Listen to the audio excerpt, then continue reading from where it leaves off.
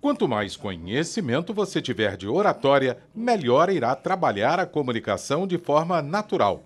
Aqui está mais consolidada e reconhecida no mercado, não só nas grandes mídias e nas mídias sociais, é a oratória espontânea.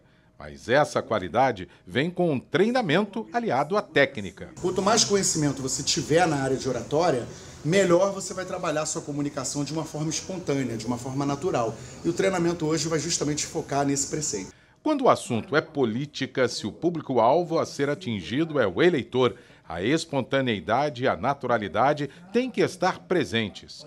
Nada de ser aquela coisa embasada com excesso de emoção.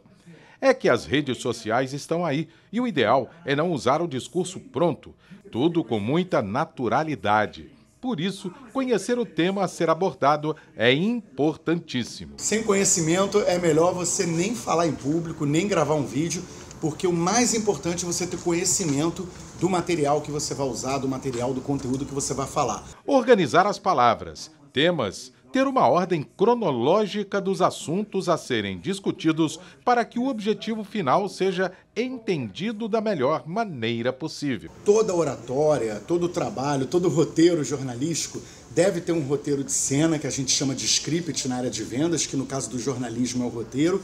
E esse script, tendo um início, meio e fim bem programado, é o caminho até para você ter mais tranquilidade. Um tema que cresceu muito nos últimos anos é a chamada inteligência artificial. A linguagem tem sido colocada em prática por empresas, as chamadas conversas entre robôs e o ser humano. Sistema que tem evoluído muito no dia a dia. Mas o professor Daniel Lascani tem um recado para quem quiser se aproveitar da modernidade. Não a use é, de forma assim tão banal. Por exemplo, ah, eu posso montar um texto aqui com a minha criatividade, mas vou usar né, a inteligência artificial para isso. Eu acho que a gente tem que procurar estender ao máximo a nossa criatividade. Isso nos lembra muito a questão do telefone. Uhum. Quem é da geração do telefone fixo, nós tínhamos de cabeça mais de 10, 15 números. E hoje, parte do nosso neocórtex está no celular. Nós já somos, de uma certa forma, um ciborgue, porque a gente já transferiu uma parte da nossa memória para os aparelhos de celulares e outros né, dispositivos.